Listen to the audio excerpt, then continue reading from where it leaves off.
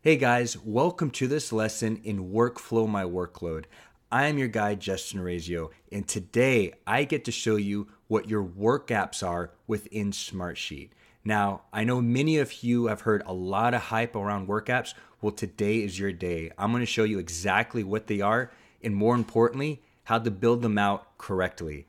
Let's dive right into it.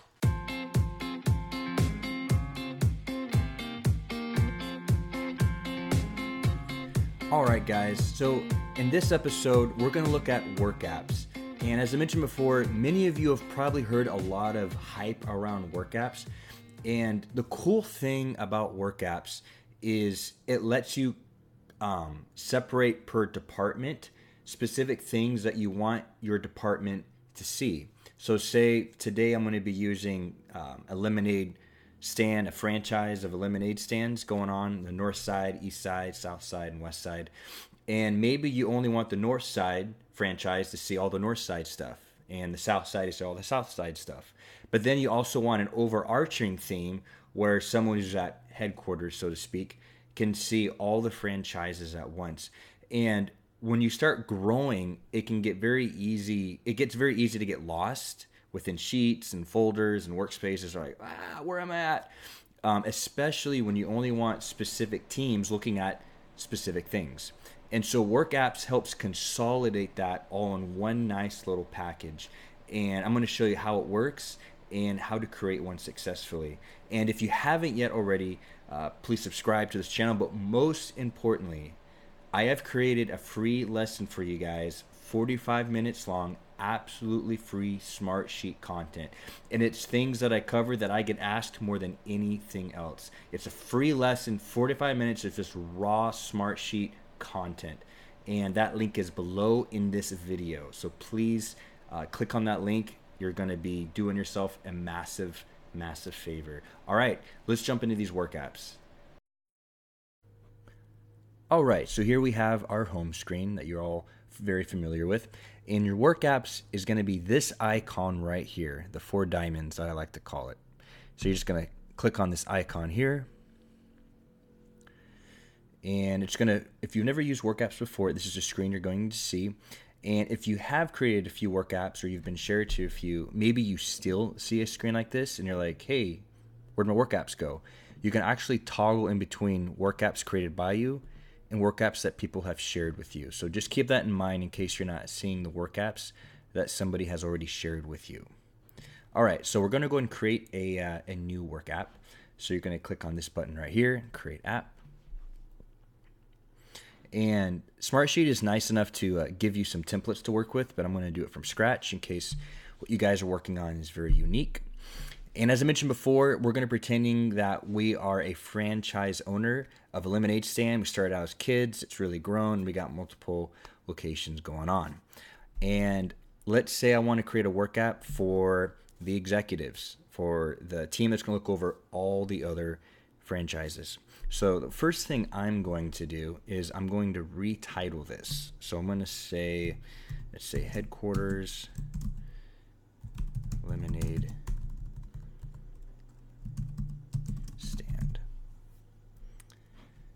and I'm going to go over here and you can choose who you want to add that has uh, permission to look at this. This is very important and one of the key things of work apps, deciding who and who cannot view that specific work app. And I'm going to keep it as myself for now. And we're going to go into settings. Now, this is very, very cool. You can actually change the theme and actually give you a ton of leeway in this. So for the first one, I'm going to do the logo that shows up at the top.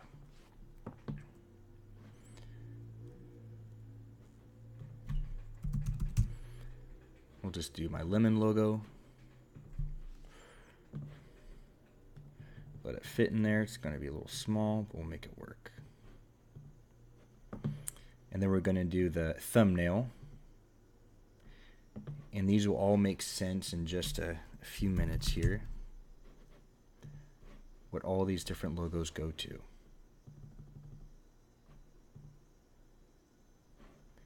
And then the accent color, I'm going to choose like a like a peach here. And this is really cool. It's the bookmark icon. You can actually change the icon on your tab, which is really cool, especially when you're working with multiple different work apps. Okay, last one. Got that loaded. We'll make that make that little guy fit. Oh, yep, there we go. All right, so we are done with that. So now we're going to start building out our actual apps in our work app. And so all of your apps or your buttons that I like to call them are going to show up right here on your page on the left hand side.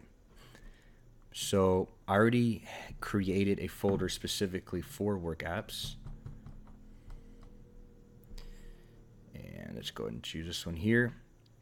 Now I'm going to choose this one, this report, and this as well.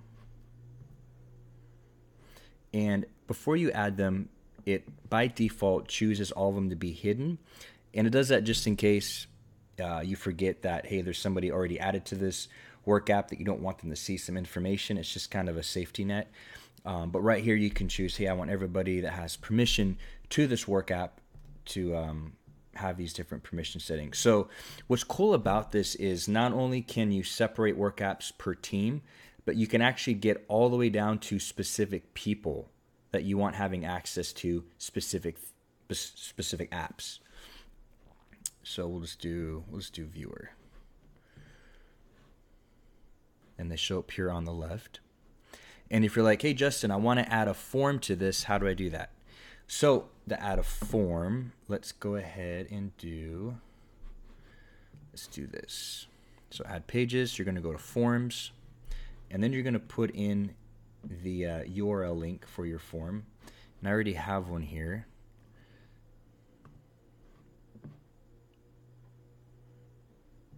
Just going to pull it from this last one I just built out for this demo here. Actually, you know what? I did have the other one built out earlier. Here we go. Right here. Copy. And then what I'm going to do is I'm just going to paste the URL link right here that I've copied. I'm going to give it a name.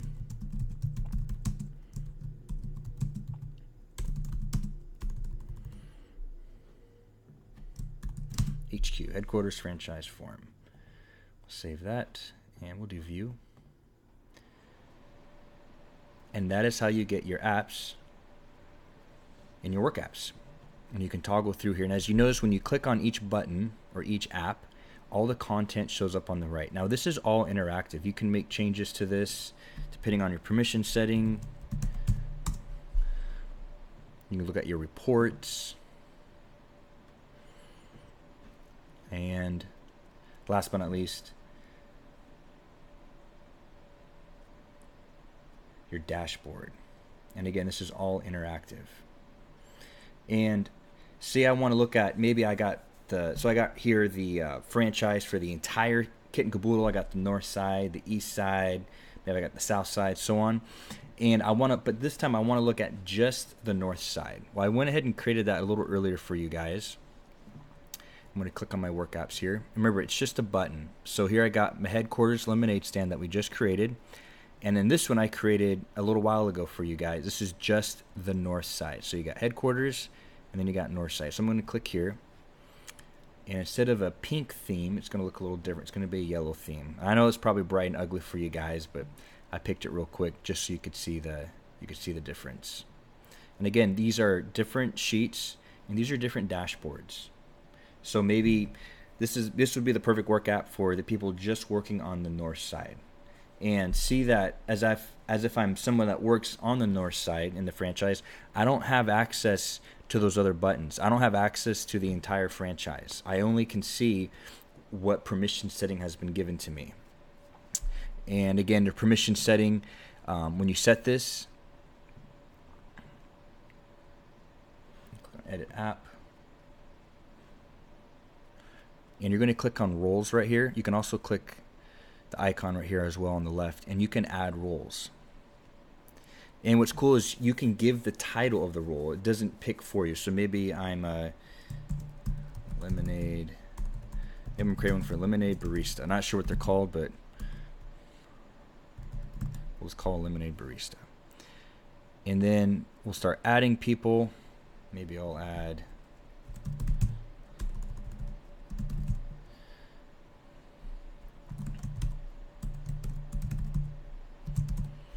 this guy. There we go. And then you can also do the page settings. So remember, you can choose individually each one what they're going to have access to. For these people, these people on the left, what they have access to on the right. Editor, viewer, and viewer. And as you can see here,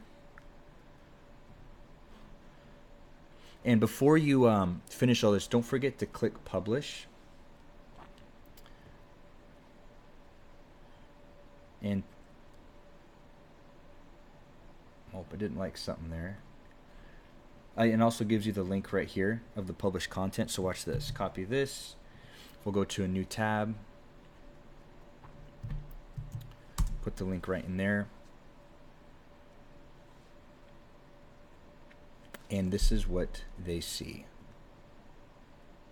And what's cool about this is for people who have uh, do that do a lot of work on their mobile phones and they're using the Smartsheet app. Work Apps is incredible, and so I'm going to show you really fast, um, just a, a screen video of my phone using this exact Work app right here. So let's take a look at that.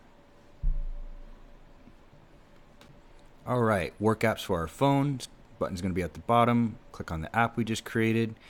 Opens up to the form. Click on the top left and there are all your work apps. I'm just going to be clicking into them, going back, clicking into another one, and that is work apps on the mobile phone, and it's interactive just like on the screen. And again, don't forget to click publish. You're just going to click the button right here. It's going to be publish, and publish and notify.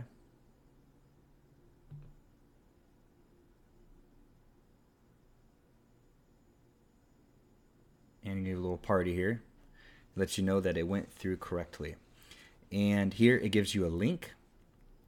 And again, you can just take that link and you can paste it wherever you want. Send it to whoever you want, and they will have, um, as long as you've added them into the roles here, they will have access to the work apps. And that is how uh, you create work apps. That's how they work within Smartsheet. And again, it's very nice, consolidates everything um, for each team and for those looking over multiple teams. And uh, Smartsheet also just came out with a thing where it's not just uh, work apps on a project level, but also on a portfolio level, which we'll cover in future lessons. But that's what I have for you guys today. Please don't forget to subscribe, and most importantly, click on that link below for that free lesson of Smartsheet content, absolutely free. All right, you guys, take care, and God bless.